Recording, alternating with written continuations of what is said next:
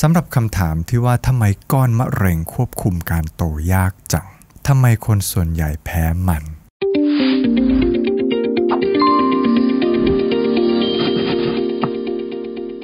สวัสดีครับ ท่านผู้ชมที่น่ารักทุกคนกำลังอยู่กับดรแบงค์ถ้าเราเป็นมะเร็งไปแล้วทำไมเราถึงไม่สามารถควบคุมการเจริญเติบโตของก้อนมะเร็งร้ายนั้นได้ วันนี้ดรแบงค์ไปหาข้อมูลมาให้ท่านผู้ชม เจาะลึกเรื่องเหตุผลว่าทำไมคนส่วนใหญ่จึงพ่ายแพ้กับโรคมะเร็ง โดยเฉพาะประเทศไทยที่มีการเสียชีวิตจากโรคมะเร็งอันดับหนึ่งของประเทศ สาเหตุที่คนเราไม่สามารถควบคุมการโตของก้อนมะเร็งร้ายได้ ผมขอแบ่งออกเป็น 4 ข้อนะครับ ข้อที่ 1 คนส่วนใหญ่ไม่เข้าใจ วงจรชีวิตของมะเร็ง ในช่วงวิชาการพาเพลิน EP ที่แล้วรายงานไว้ว่าเจ้าเซลล์มะเร็ง จริง ๆ แล้วมันก็คือเซลล์ธรรมดาของเรา ที่กลายพันธุ์ซ้ำๆจนทำให้ระบบภูมิคุ้มกัน ไม่สามารถจัดการกับมันได้ สุดท้ายมันก็ออกล่าอาณานิคมลุกลามไปกัดกินอวัยวะอื่นๆ จนร่างกายของเรารับไม่ไหว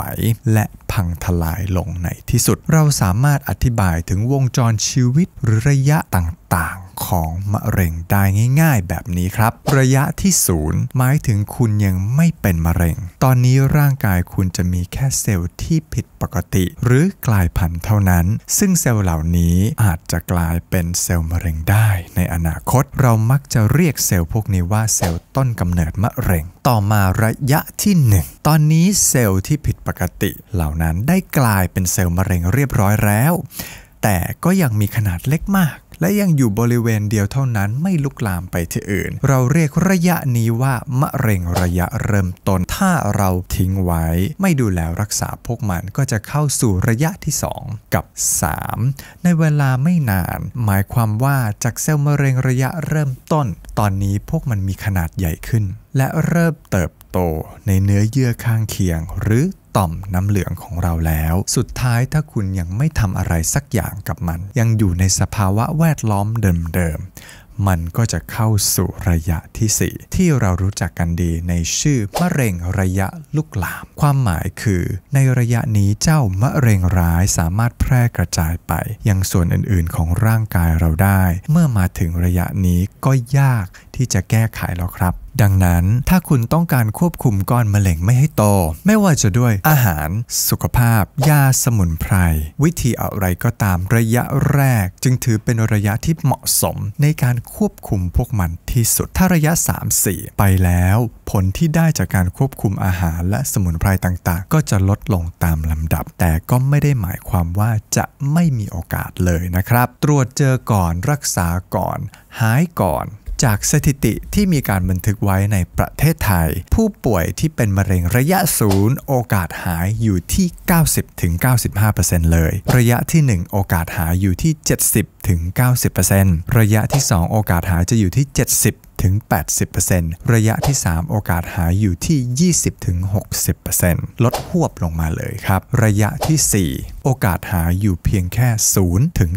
15%เหตุผลที่ 2 ว่ามะเร็งทำไมมันควบคุมยากเหลือเกิน ก็คือระบบร่างกายพังมาเยอะแล้ว ก่อนที่ท่านผู้ชมจะเป็น เรารู้กันดีว่าการดูแลสุขภาพอย่างสม่ำเสมอกินอาหารที่มีประโยชน์นอกจากจะช่วยให้ร่างกายเราแข็งแรงแล้ว ระบบภูมิคุ้มกันในร่างกายของเราก็จะดีตามไปด้วย ผลที่ดีคือเราจะไม่ป่วยครับ และถ้าบังเอิญระบบภูมิคุ้มกันในร่างกายของเรา มันตรวจเจอเชื้อโรค หรือเซลล์ที่ผิดปกติด้วยความที่มันแข็งแรงกว่า มันก็จะสามารถฆ่าเซลล์วายร้ายเหล่านั้นได้ อย่างมีประสิทธิภาพ แม้แต่เซลล์ต้นกำเนิดมะเร็งระยะศูนย์พวกมันก็ฆ่าได้อย่างไม่มีปัญหา แต่ถ้าเราไม่ดูแลร่างกาย กินแต่อาหารที่มีสารพิษกินน้ำตาลเยอะบ่มเพาะแต่สิ่งสกปรกไว้ในร่างกาย แบคทีเรียที่ไม่ดีเลี้ยงมันจนมันโต สุดท้ายเซลล์ของเราก็จะสุดโทมอ่อนแอง่าย ระบบภูมิคุ้มกันของเราจะอ่อนแอปวกเปียกลง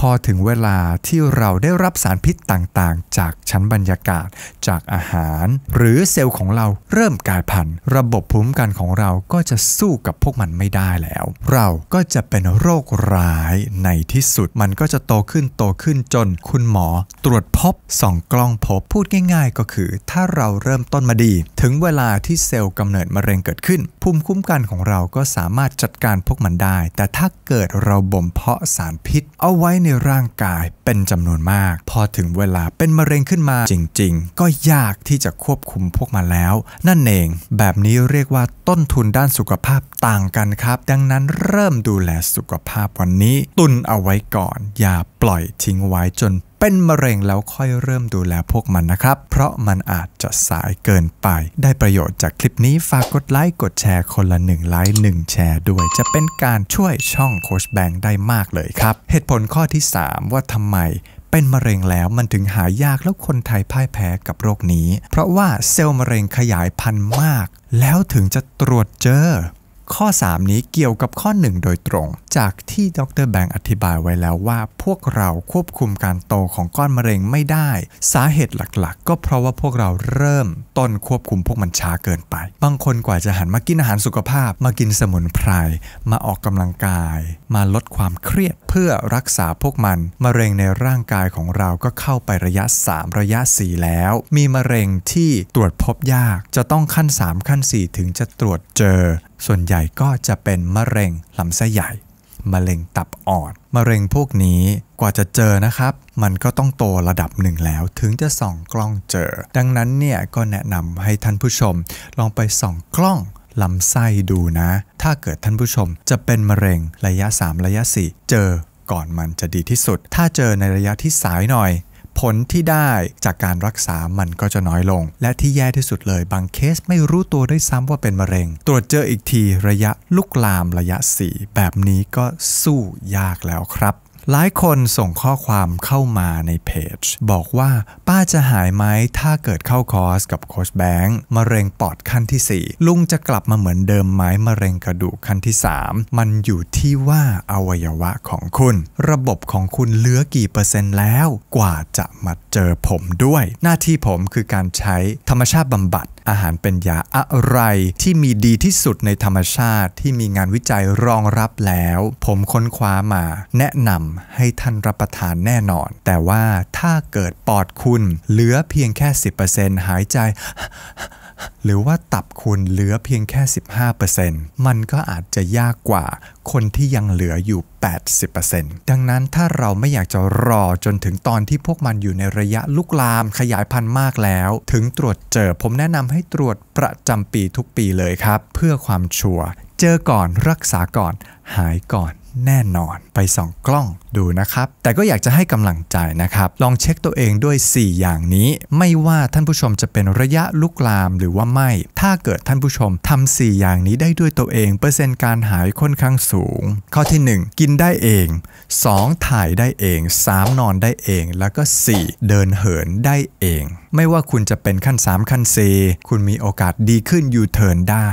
มากกว่า 70%เลยครับ แต่ถ้าไม่สามารถทำอย่างใดอย่างหนึ่งได้ด้วยตัวเอง อย่าท้อรีบเข้าคอร์ส รีบหาผู้ที่ใช้ธรรมชาติบำบัดอย่างมีประสบการณ์ จะต้องรู้จริงมีประสบการณ์จริง ๆ เท่านั้นถึงจะคู่ควรกับชีวิตที่แขวนอยู่ครับ ปฏิหารเกิดขึ้นได้กับทุกๆคน เรามีความรู้ผิดๆเยอะอะไรที่มันชอบ อะไรที่มะเร็งเกลียด ต้องพบผู้ที่รู้จริงเท่านั้น ข้อสุดท้ายครับ ข้อที่ 4 เรารู้จริงเรื่องความต้องการและความกลัวของมะเร็งน้อยเกินไป ข้อนี้สำคัญมากเลยว่าท่านผู้ชมทราบไหมสิ่งที่ทำให้ก้อนมะเร็งในร่างกายของเราโตขึ้นลุกลามได้เร็ว แบบก้าวกระโดดจริง ๆ แล้ว คือสิ่งที่เรากินเข้าไปทุกมื้อทุกวัน นั่นก็คืออาหารนั่นเอง อาหารที่เรากินเข้าไปเลือกที่จะใส่ในช้อนแล้วก็เข้าปากนั้น สามารถไปเลี้ยงเซลล์ปกติของเราได้ และก็สามารถไปเลี้ยงเซลล์มะเร็งของเราได้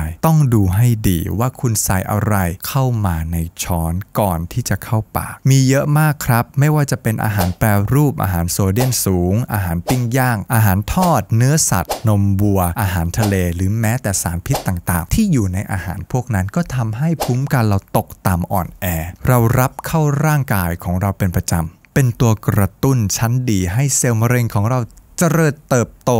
ถ้าคอยรับของพวกนี้เข้าไปอย่างสม่ำเสมอ พวกมะเร็งจะชอบมาก เพราะในตัวคุณมีแต่อาหารที่พวกมันชอบ อาหาร ที่ไปเลี้ยงพวกมันทั้งสิ้น สารพิษต่างๆ ก็ไปฆ่าเซลล์พลทหารของเราทำให้มันลุกลามได้ง่าย ไม่มีทหารคอยยั้งคอยกำราบแถมยังไปเสริมกำลังให้เซลล์มะเร็งอีกไปเสริมสเสบียงให้มันแต่ ท่านผู้ชมอย่าเพิ่งเครียดไปครับ มีชอบก็ต้องมีเกลียด ถ้ามีอาหารที่มะเร็งรักก็ย่อมมีอาหารที่มะเร็งเกลียด และนี่คือตัวช่วย ควบคุมรักษาต่อสู้กับมะเร็งชั้นดี ถ้าเป็นไปได้ คนมีอยู่ในมื้ออาหารของท่านผู้ชมทุกวัน อาหารที่เซลล์มะเร็งเกลียดก็มีเยอะมาก ไม่ว่าจะเป็นหัวเผือกหัวมัน พืชสมุนไพรธัญพืชไม่ขัดขาวผักใบเขียวของหมักดองอนามัยซาวเครานัตโตถั่วเน่า ผลไม้สีเข้มต่างๆ มีมากมาย ผมมีเป็นลิสต์เลย เรื่องอาหารที่มีฤทธิ์เป็นยารักษาเซลล์มะเร็ง ท่านผู้ชมคลิกตรงนี้ได้เลยนะครับ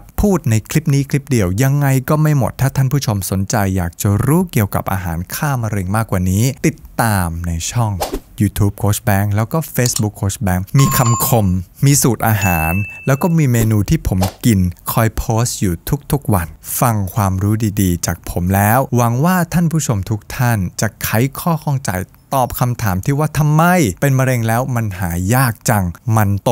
ยังไม่มีขีดจำกัดเลยทำทุกอย่างแล้วก็ยังไม่ดีขึ้น keyword ง่ายๆ สูตรสำเร็จในการป้องกันมะเร็ง ตรวจก่อนเจอก่อนรักษาก่อน ดูให้ดีกินให้เป็นห่างไกลมะเร็งร้ายแน่นอน ถามว่าผมมีบริการอะไรบ้าง ใครรที่ไม่มีเวลาทำอาหาร หรือไม่มั่นใจว่ากินอะไรดีสำหรับโรคที่เป็นอยู่มะเร็งปอดมะเร็งกระดูกมะเร็งไทรอยด์มี project อาหารกล่องเป็นเซตสำหรับอาการของคุณเบาหวานหัวใจความดันอัมพฤกษ์อัมพาตส่งถึงบ้านที่กรุงเทพและต่างจังหวัดแล้วนะครับ ดรแบงค์เบนโตมีน้ำปั่น Delivery ด้วย แล้วถ้าเกิดท่านผู้ชมอยากจะได้อาหารเสริมขายดีสำหรับอาการพวกนั้น แนะนำให้ทักไลน์มาที่ at coach bank market เลยครับ ถามได้ว่า เป็นอาการนี้จะรับประทานอะไรดีที่ at line coach bank market ครับ Malcolm X เคยกล่าวเอาไว้ว่า the future belongs to those who prepare for it today อนาคตเป็นของคนที่เตรียมตัวสำหรับมันในวันนี้ ถ้าท่านผู้ชมเริ่มดูแลสุขภาพตั้งแต่เมื่อวานนะ ในวันนี้ท่านผู้ชมก็คงจะไม่ป่วย ไม่ต้องแปลกใจครับ ถ้าในอนาคตคุณจะกลายเป็นคนที่แข็งแรงสุขภาพดีไม่เจ็บไม่ป่วย ถ้าคุณเริ่มตั้งแต่วันนี้ ขอให้ไกลโรคไกลภัยเป็นเศรษฐีความสุขกันในทุกๆวัน กับความรู้ที่ถูกต้องทันสมัยเอาไปใช้ได้จริงในช่องโคชแบงค์ช่วงวิชาการพาเพลิน ต้องขอลาท่านผู้ชมไปก่อนแล้วเจอกันใหม่ในคลิปหน้าไลฟ์สดหน้า เมนูหน้า สวัสดีครับ